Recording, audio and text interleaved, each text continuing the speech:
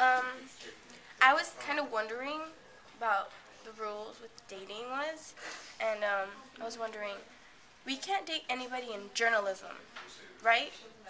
Nancy, we've been over this at least one time. It's rule number 84. No dating allowed in Studio B. Yeah. Who would want to date you anyways, Nancy?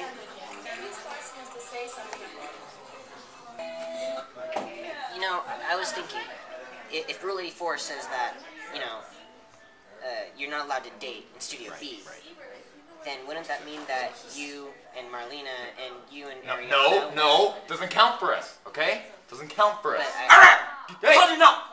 Get out, you go. I don't see your face anymore. Leave. Okay.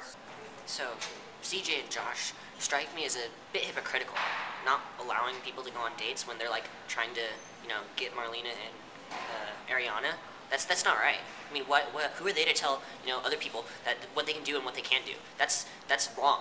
That's some fundamental breach of like you know you know in the Constitution it says right li- life, liberty, and pursuit of happiness. Well, that's not pursuit of happiness. I love a man in a Gap sweater.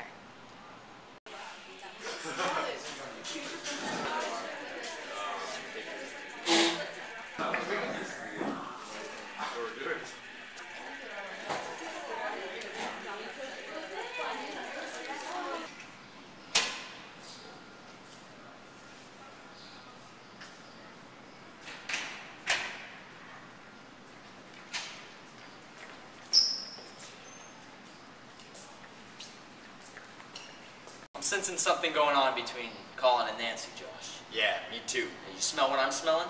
Yeah. Suspicion. I was gonna say backstabbing, but suspicion works too.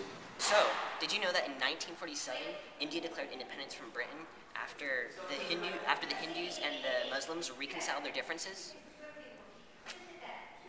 I love history. I don't like history.